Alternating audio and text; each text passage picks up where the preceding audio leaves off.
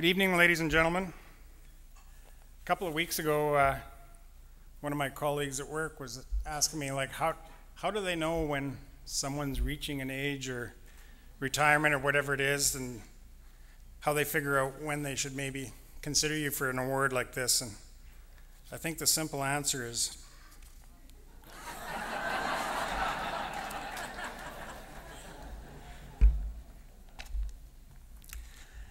I would first like to congratulate all the inductees tonight. To be in a crowd like this is really special for someone like myself.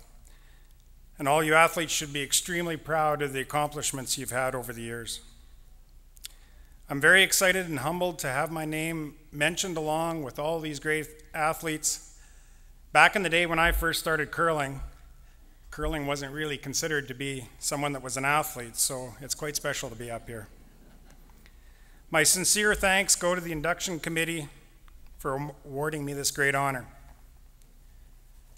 I feel a little hesitant being honored as an individual curler because, as we all know, curling is a team sport. I've been very fortunate to have curled with a number of great curlers over the last 30 plus years. It's actually a little more than that, but a lot of recognition, and the reason for me standing here today should go out to them for allowing me to be part of some very special moments and for sharing those achievements with me. I would like to take this opportunity to say a few thank yous to some of those people who were instrumental in the curling successes I was so fortunate to have. First of all, I need to thank all the great people from Assiniboine Memorial Curling Club. They have supported me all the way back to my early days as a junior curler and throughout my entire career.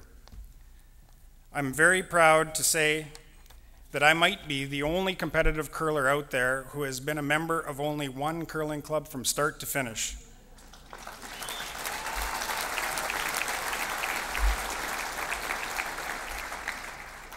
And I'm also very proud that my daughters are continuing this tradition so far and hope that they will experience the same pride in being members of Assiniboine Memorial. I have been lucky enough to have played with a number of world class curlers during my curling career.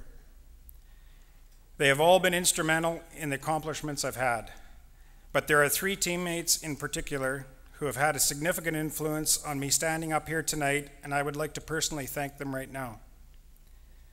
Keith Fenton, Rob Meakin, and Jeff Ryan.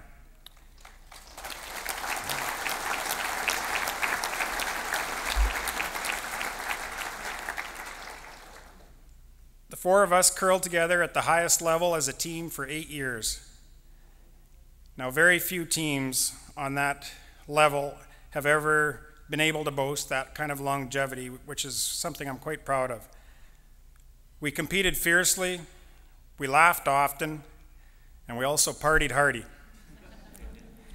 we created some amazing memories that will last forever in my mind, many of which, of which were late nights at the keg. Those eight years were the highlight of my curling career. My two biggest fans from the start of my career have been my parents, Jean and Loretta Burtnyk. Their unconditional support of everything I did over the years allowed me to have the opportunity to become a better curler. I will never be able to thank them enough for giving me the chance to play this great game. Thank you, Mom and Dad.